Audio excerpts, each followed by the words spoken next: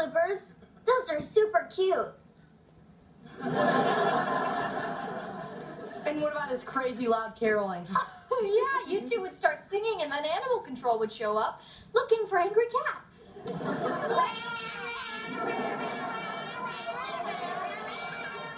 I want to bring back that classic Wrather Christmas caroling, apple cider, guessing what's inside the presents. I'm guessing.